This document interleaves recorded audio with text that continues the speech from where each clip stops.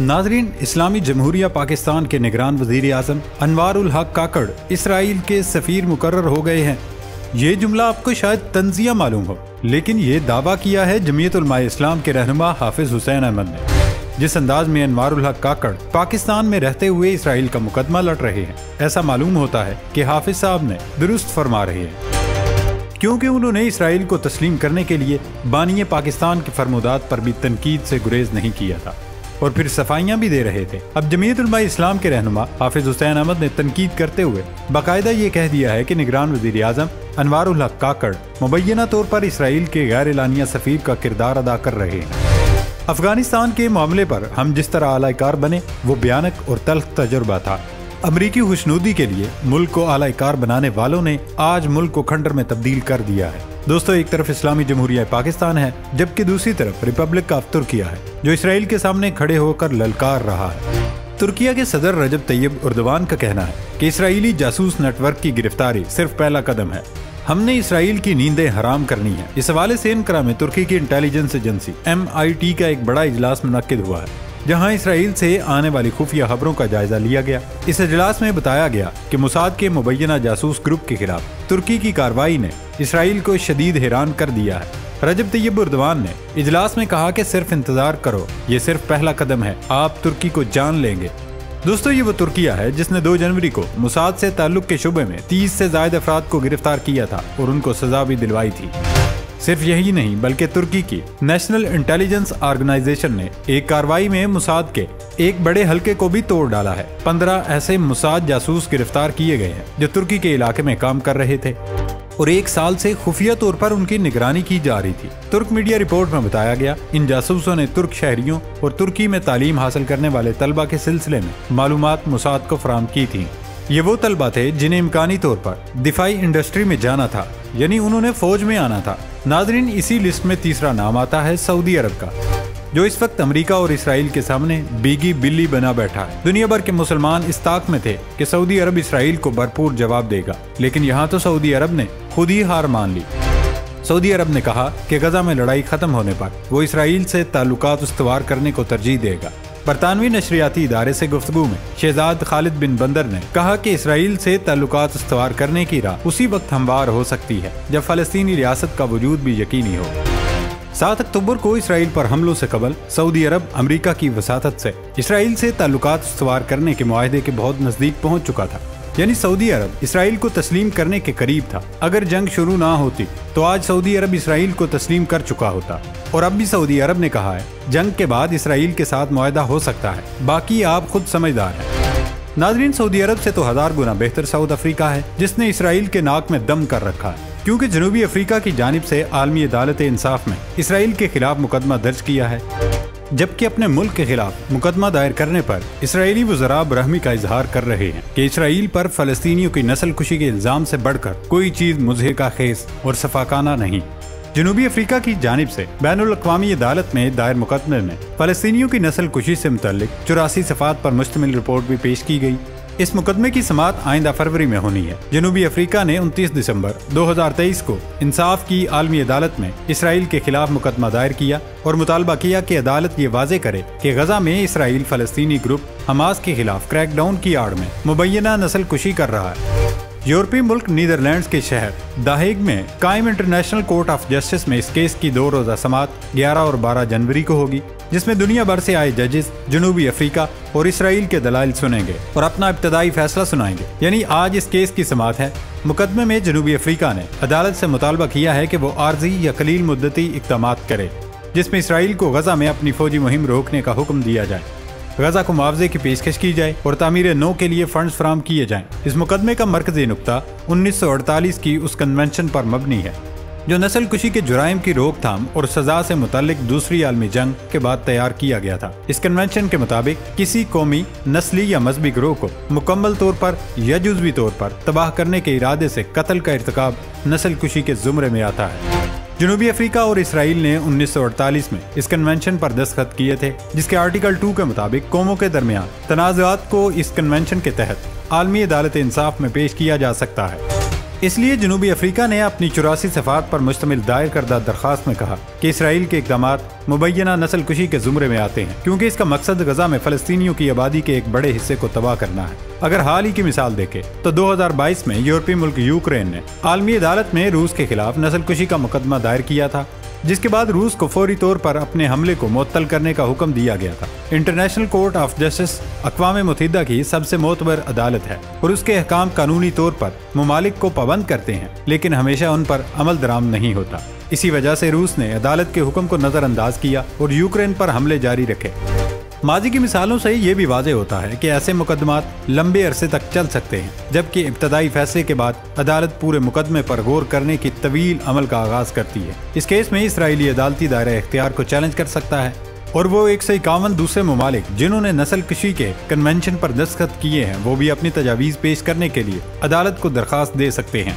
लेकिन जनूबी अफ्रीका ने कम अज कम अपना फ़र्ज़ तो अदा कर लिया है। दोस्तों, सऊदी अरब जैसे मक्कार मुल्क से तो खुद यहूदी पेशवा कई गुना बेहतर हैं कि उन्होंने बाकायदा अकवा मुतहदा की। जनरल असम्बली के इजलास में खलल डालते हुए मुतालबा किया कि अमरीका जंग बंदी की हिमायत में होने वाले सिक्योरिटी कौंसिल के फैसलों में रुकावट डालना बंद करे। अरब न्यूज़ के मुताबिक, मंगल को छत्तीस अमरीकी रियासतों से आए यहूदी पेशवाओं ने न्यूयॉर्क में अकवा मुतहदा के दफ्तर के अंदर गजा के हवाले से यादगारी तकरीब मुनद की और इंसानी हकूक के इलामिये के इकतसाबात पढ़े। यहूदी पेशवाओं ने हाथ में बैनर्स उठा रखे थे, जिन पर लिखा हुआ था, बाइडन दुनिया जंग बंदी का कह रही है। उन्होंने अमरीकी सदर बाइडन से मुतालबा किया कि वो अमन के मामले में वीटो का हक इस्तेमाल करना बंद करें।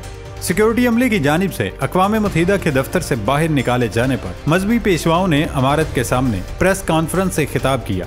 दोस्तों, यहूदी मजहबी पेशवा ऐसे मौके पर अकवा मुतहदा के सामने अपना एहतजाज रिकॉर्ड करवाने इकट्ठे हुए, जब अमरीका ने रूस की जानब ऐसी पेश की गई तजवीज़ को वीटो कर दिया है, जिनमें सिक्योरिटी कौंसिल की करारदाद की तरमीम का मुतालबा करते हुए गजा में जंग बंदी का कहा गया है। दोस्तों, एक दूसरे मकाम पर अमरीकी सदर जो बाइडन को अपनी तकरीर के दौरान उस वक्त खलल का सामना करना पड़ा, जब हमास के खिलाफ जंग में इसराइल के लिए उनकी भरपूर हिमायत से नाराज़ कई लोगों ने कहा।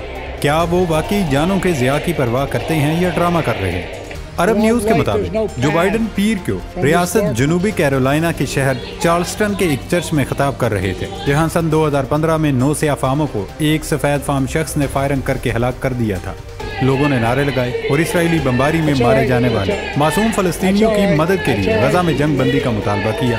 ताहम उनके फौरी जंगबंदी के नारे वहाँ मौजूद दूसरे अफराद के मजीद चार साल के नारों की गूंज में दब थे ये लोग जो बाइडन इंतजामिया ने खुद वहाँ इंस्टॉल किए थे, ताकि वहाँ तनकीद करने वालों को काउंटर किया जा सके। दूसरी तरफ़ इसराइल से खबर आ रही है कि इसराइली वज़ीर आज़म बिनियामिन नतन्याहू को खदशा है कि उनके लिए कोर्ट पार्टी में बढ़ती हुई मायूसी, अपोजिशन के साथ मिलकर उन्हें हटाने की मुश्तर कोशिशों का बायस बन सकती है। उनकी अपनी पार्टी से ही बगावतों का सिलसिला शुरू होने वाला है और उसका खतरा नितनयाहू को मालूम हो गया। जिसकी वजह से वो बड़े पैमाने पर अपने ही वजरा को हटाने की सोच रहा। है हालिया दिनों में लिकोट पार्टी में नितिन याहू के खिलाफ बगावत और हिजब इख्तलाफ के साथ मिलकर उन्हें हटाने के लिए एक मुश्तर मनसूबा भी तश्ल दे दिया है। इसकी वजह इसराइली फौज की नाकामी बताई जा रही है। जंग के दौरान इसराइल की नाकामी किस तरह ज़ाहिर हुई, ये भी आपको बताते चले। इसराइल की जंगी कबीना के एक रुकन, बीनी गेंटर्स ने कहा कि हमास की बहुत सी बटालियंस को खत्म कर दिया गया है। अब गजा के लोगों के पास हमास की कोई हुकूमत नहीं है। उन्होंने तकरीर में कहा था, हमें अभी तसलसल को जारी रखने की ज़रूरत है, क्योंकि हमास दोबारा कंट्रोल हासिल कर लेगी। हमारे पास मजीद हमास को कंट्रोल करने का कोई मंसूबा नहीं। हम जितना कर सकते थे, कर लिया है। एक तरफ़ इसराइल वज़ीर का ये बयान सामने आया तो दूसरी तरफ़ हमास ने गजा के मैदान में इसराइली फौज की नींदें हराम कर रखी हैं। सुनी फौज को मुजाहमतकारों के हाथों मुँह की खानी पड़ रही है? हमास के अलकसाम ब्रिगेड्स का कहना है, उन्होंने शुमाली गजा में इसराइली फौज पर कई हमले किए। टेलीग्राम पर बयान में अलकसाम ने कहा कि उन्होंने गजा शहर के जैतून महल्ले के जुनूब में दुश्मन की फौज पर हमले किए हैं। ग्रुप का कहना है कि उसने इसराइली फोर्सेज को मशीन गन और मोटर फायर से हास बख्ता किया अलकसाम के जंगजू अलसीका स्ट्रीट के करीब इसराइली फौजियों को हलाक और जख्मी करने में भी कामयाब हुए। नाजरीन, हमास या हिजबुल्ला की कार्रवाइयाँ एक तरफा नहीं है, बल्कि एक तरफ़ अगर जमीनी जंग चल रही है तो दूसरी तरफ़ समंदर में भी हमले जारी हैं। अब तक हमास और हिजबुल्ला ने इसराइली बेड़ों को मुसलसल शिकस्त दी, लेकिन कल हमास के साथ खतरनाक जंग हुई, जिसके बाद अमरीका और बरतानिया के बेड़ों ने हमास और हिजबुल्ला को शिकस्त दी। बरतानिया के वज़ीर दिफा ग्रांड शेप्स का कहना है कि बरतानिया और अमरीकी बहरी अफवाज ने बहिर अहमर पर यमन के हूसियों के अब तक के सबसे बड़े हमले को नाकाम बना दिया है। कैरियर पर मबनी जेट तैयारों ने रातों रात 21 यमनी ड्रोन और मिसाइलों को मार गिराया है। हूसियों ने कहा कि उन्होंने साथियों की मौत के बदले में एक अमरीकी जहाज़ को निशाना बनाया। जिन्होंने गुजशत माह स्पीड बोट्स के ज़रिए कंटेनर जहाज़ पर हमला करने की कोशिश की थी, जिसके बाद अमरीका और बरतानिया के जहाजों ने मिलकर हुसी बागी हिजबुल्ला और हमास को जवाब दिया। इस जवाबी कार्रवाई में हमास का बड़ा नुकसान भी हुआ, लेकिन हमले बदस्तूर जारी हैं। जहाँ ये जंग चल रही थी, वहीं हुसी बागियों के तर्जमान टीवी पर बैठकर शो कर रहे थे। हुसी ग्रुप के तर्जमान ने बरतानवी नशरियाती इदारे बीबीसी को दिए गए एक इंटरव्यू में मेजबान को ही लाजवाब कर दिया। यानी आप ये समझें कि इस वक्त तीन किस्म की जंगें चल रही हैं, जमीनी, समुद्री और आखिरी जंग। इसी तरह मीडिया पर जारी है। गैर मुल्की मीडिया रिपोर्ट्स के मुताबिक बरतानवी नशरियाती इदारे की मेजबान ने हूसी ग्रुप के तर्जमान मोहम्मद अली हुसी से इंटरव्यू के दरमियान पूछा, यमन गजा से मीलों दूर है, फिर आप फलस्तियों की हिमायत क्यों कर रहे हैं? इस सवाल पर हुसी तर्जमान ने जवाबी सवाल दाग दिया और प्रेजेंटर से ही पूछा, क्या बाइडन और नितिन एक अपार्टमेंट में रहते हैं? क्या वो काबिज मुल्कों से मीलों दूर हैं? ये सुनकर मेजबान लाजवाब हो गए। इंटरव्यू में हुसी ग्रुप के तर्जुमान मोहम्मद अली हुसी ने कहा, उनका मौकफ है कि फलस्तीन में तबाही की अमरीकी और यूरोपीय मशीनों को जारहियत जंग और दहशत गर्दी से रोका जाए। उन्होंने मजीद कहा कि गजा के लोगों पर इसराइली हमलों की वजह से हुसी बहिर हमर में जहाजों को निशाना बनाते रहेंगे। नाजरीन, कई ममालिक ने इसराइल और फलस्तीन की जंग में कूद पड़ने का अंदिया तो दे दिया है, लेकिन एक जंग भारत में भी लड़ी जा रही है। जो कि खालिस्तान मुसलमानों और इस्लाम के खिलाफ है। काली भारत में हिंदू तवा के गुंडों की कुरान पाक की बेहरमती की नापाक जसारत की है। भारतीय रियासत झारखंड में हिंदू तवा के गुंडों ने कुरान पाक के एक नुस्खे को नज़र आतिश करने की नापाक जसारत की जिससे मुसलमानों में गम गुस्से की लहर दौड़ गई। कश्मीर मीडिया सर्विस के मुताबिक भारतीय रियासत झारखंड में आरएसएस, बीजेपी वीएचपी और बंजरंग दिल के जनूबी गुंडों ने जिला जमतारा में फतेहपुर बाज़ार मस्जिद के करीब एक मैदान में कुरान पाक के उराक को नज़र आतिश किया। भारत में इलेक्शन होने वाले हैं। हुक्मरान जमात भारतीय जनता पार्टी मुस्लिम मुखालिफ जज्बात उबारने के लिए ऐसे हथकंडे आजमाती है। जो पार्टी राम मंदिर पर सियासत खेले, इससे क्या ही तो की जा सकती है? इंतबात करीब आते हैं तो मोदी सरकार की सस्ती शोहरत के हथकंडों में इजाफा हो रहा है। हैरान कन तौर पर अजय बिसारिया कई साल खामोश रहने के बाद अचानक नमोदार होकर मोदी प्रापगंडा का आलाकार बन गया है।